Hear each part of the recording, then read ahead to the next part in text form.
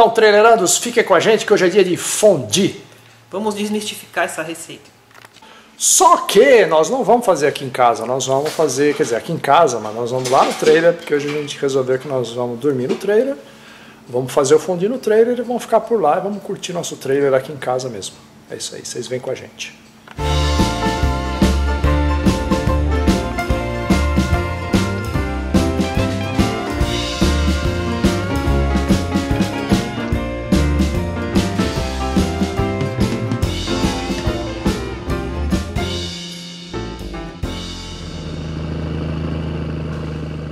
E aí, Diana, qual que é a, a treta, qual que é a história? Conte para a gente, qual é o segredo do fondue? Bom, o segredo do fondue são os queijos. Os queijos a gente tem que usar os queijos que derretem, tá? Então tem alguns queijos que são bons para fazer fondue, outros que, tipo, parmesão não serve, tá? Então os bons são Gouda, é, Emmental, é, Gruyère, é, queijo steppe, os queijos que derretem. Então a gente usa sempre um, uma de base. É, a gente usa uma mistura deles, né? Aí a mistura vai de gosto, né? Lembrando que o emmental é mais docinho, o Gouda é menos docinho, o steppe é meio sem gosto de nada, então é legal colocar algum queijo que tem algum gosto mais, mais legal, né? Então, Diana, hoje vai ser do quê? Então, hoje a mistura que nós vamos usar vai ser gruyère com emmental, hum. que é tradicional suíço, né? Certo. E aí, ó, qual é a fonte? Confesse a fonte. A fonte. Tcharam! É um livro. É um livro alemão, bem antiguinho já. Hum. Receitas todas aqui, bonitinho, em alemão. Tá? Tem trocentos tipos. Tem vários tipos. Na verdade é a proporção dos queijos, né? É, é o tipo de queijo e a proporção deles, Isso. Né? Aqui tem receita de tudo, de carne, de coisa. É, mas o que nós vamos fazer é o de queijo. O de queijo, basicamente, a gente usa é, para seis pessoas, tá? 600 gramas de queijo, qualquer queijo ou mistura deles, 300 ml de vinho branco e um pouco de limão e no final, depois de tudo derretidinho, a gente vai mostrar para vocês, é uma colherzinha de maisena para dar a liga nos queijos. Então, dar um toquinho de noz moscada, um toquinho Isso, aí de... temperinhos a gente joga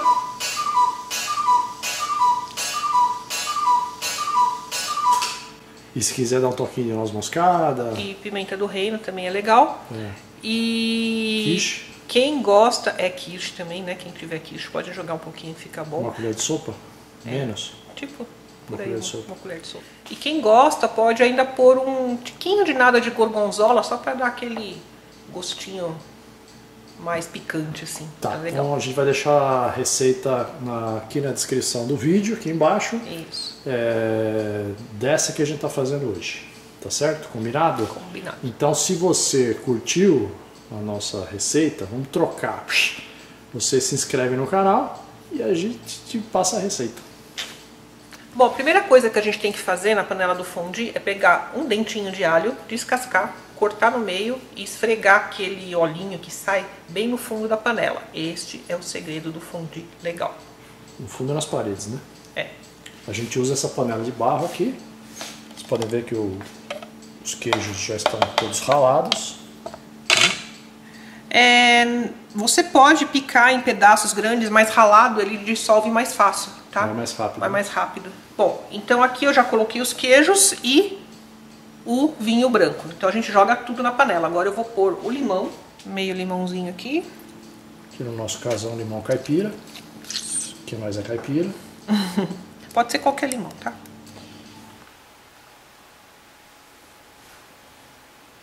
Ô pessoal, estão gostando do vídeo?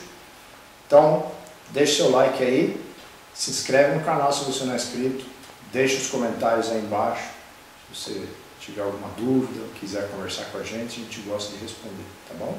Ative o sininho para receber as notificações e vamos continuar no vídeo que eu já falei demais. Então, agora já no trailer, estamos aqui com o nosso fondezinho no fogo. Está derretendo o queijinho aqui. E, aí, e essa garrafa de champanhe na sua mão, Diana? É que eu esqueci do vinho branco, a única coisa branca que a gente tinha aqui era espumante, mas serve também, tá? Serve.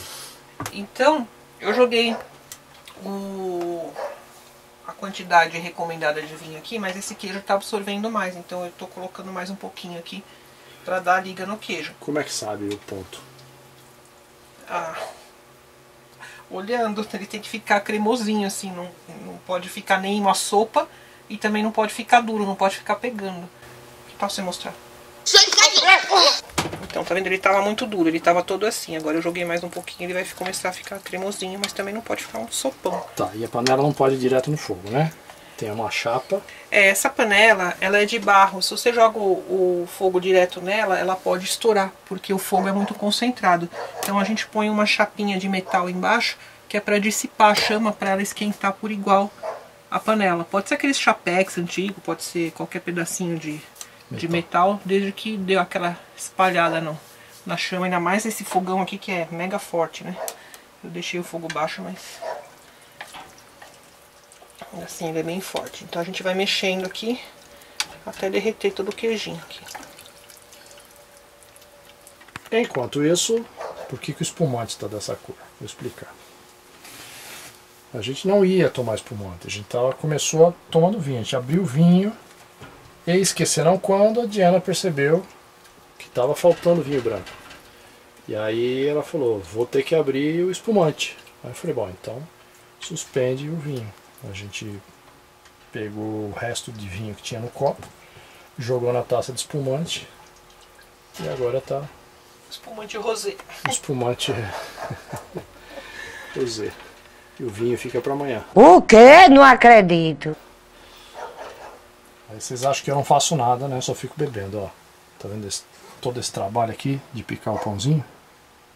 Foi a Diana que picou também. Dessa vez foi ela, normalmente sou eu. É. Eu tô aqui só na sofrência. Deixa pra lá. Nós estamos aproveitando que São Paulo tá friaca e estamos curtindo essas, essas coisas de lareira, vinho, fondue porque não é sempre que dá, né? No calor é, não dá, né? Então vamos aproveitar o inverno para curtir. E já que a gente não está podendo sair de trailer no momento, vamos curtir o trailer dentro de casa, né? Fica a dica. Então, aqui eu estou colocando uma colher de sopa. Chá cheia, vai. De maisena. Vou diluir aqui na água para não empelotar lá no, no fondue aquela dissolvida aqui, vamos jogar lá no... Isso ajuda a dar o ponto. Isso. Esse é o segredo da receita dos fondis, na verdade, né? É isso aí. Vai. Aqui ele já tá todo dissolvidinho, tá vendo? Não tem mais pedaços. E a gente vai agora jogar aqui.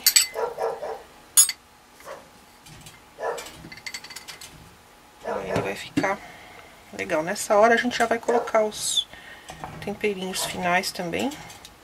Olha, dizem as más línguas que a gente tem que mexer ele em forma de oito, que se você mexer de um lado e depois mexer do outro, ele desanda. Então, por via das dúvidas, a gente mexe sempre em forma de oito ou sempre para o mesmo lado, tá? São as, as histórias do fundi, as lendas do fundi.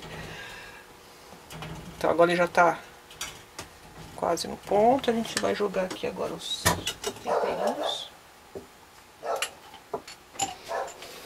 Vou pegar uma noz moscada aqui em nós mesmo, ralar um pouquinho aqui. Não muito, porque esse negócio é forte, tá? Então só um pouquinho mesmo.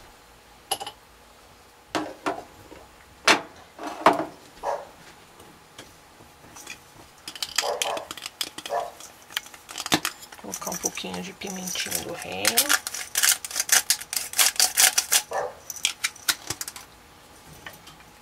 E foi. Olá, treinados. Saúde a vocês. Hum. Ó. Hum, sente isso, ó.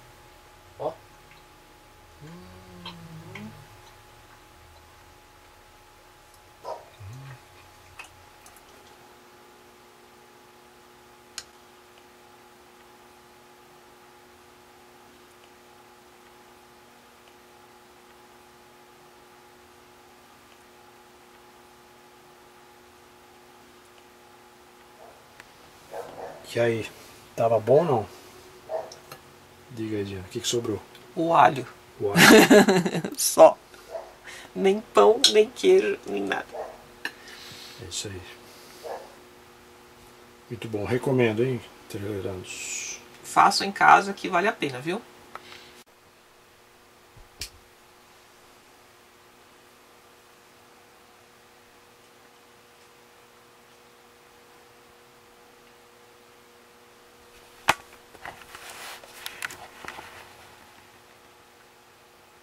Bom dia. Fala bom dia, amor. Bom dia. Hora do café. Vamos tomar café aqui ou lá em casa? Tem que ser lá em casa, né? Porque aqui não tem nada. Não tem? Tem aí que eu te trouxe cafezinho na cama. Vamos lá pra casa tomar café, porque senão tem que trazer tudo pra cá. Nós não nos preparamos para o café, só para o fondue. O que temos aqui, Diana? Hum, waffle, waffle, waffle, waffle, waffle, Waffle. waffle, waffle. Pra mim, para a Diana, ela prefere um ovo frito, ovo mexido, na verdade.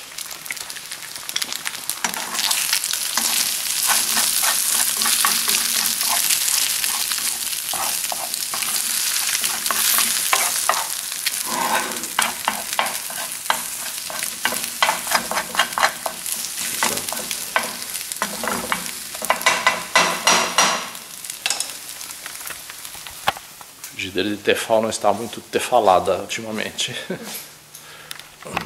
Então, treinos, aqui temos aqui os waffles. Isso aqui, olha o que a gente achou aqui perto de casa, olha. Ah, a gente conheceu lá no, no sul. Na verdade foi onde? Curitiba? É, quando a gente ficou no sol ali no supermercadinho. isso. uma geleia de damasco, que é uma delícia. E Diana prefere um salgado, um famoso pâncovo. Panko, vai. Comida chechena. Já está fofocando com a Helena. Já estão se comunicando. Não sei que tanto tempo eu falar às 8 horas da manhã, mas tudo quase. Vamos lá.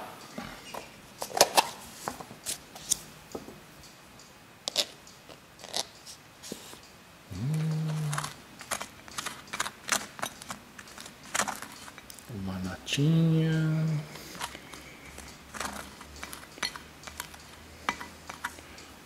Geleinha.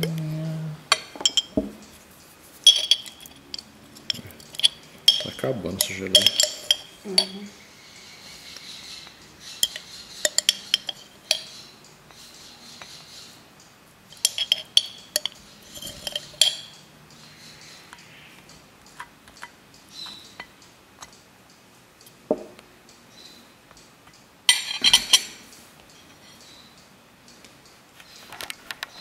Servidos aí?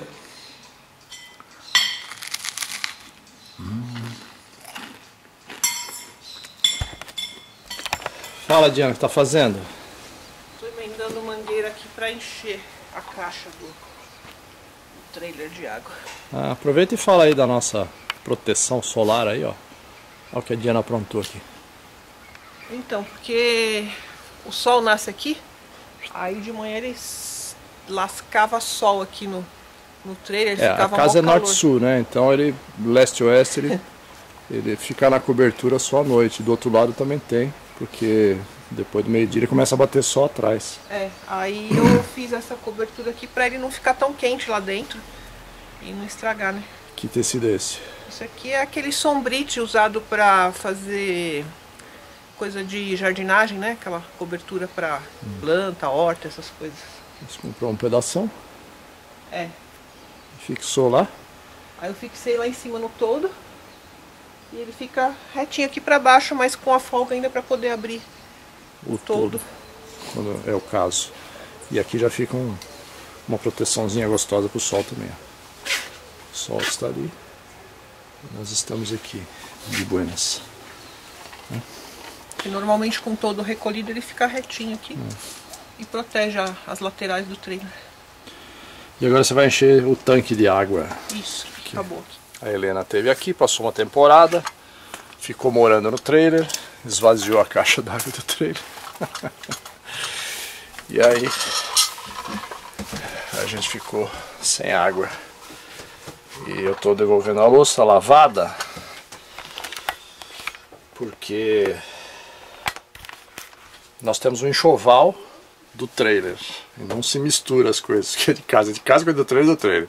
Porque a gente começou a pegar as coisas de casa por aqui, chegava lá, não tinha, pegou as coisas daqui, levava para lá, ia viajar, não tinha. Ah, cadê? Ah, tá, ficou em casa. Então a gente resolveu fazer um enxoval só do trailer, que é para não ter esse problema. Fica a dica aí.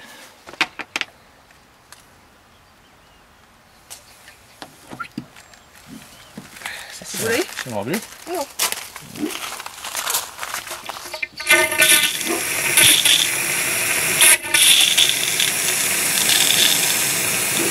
Teoricamente dá pra ficar sem segurar. Eu vou sair de perto aqui. e gente, pra quem ficar na dúvida, nós temos essa saída de esgoto e nós temos uma fossa em casa. Vai lá, tá vendo? A mangueira vai embora.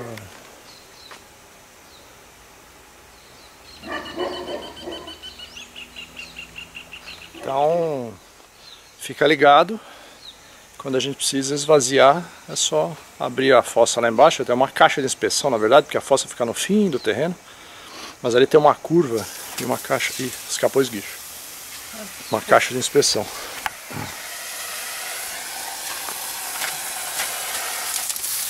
Diminui o jacto. Vai lá. Diminui, não, diminui a pressão. Como ia dizendo.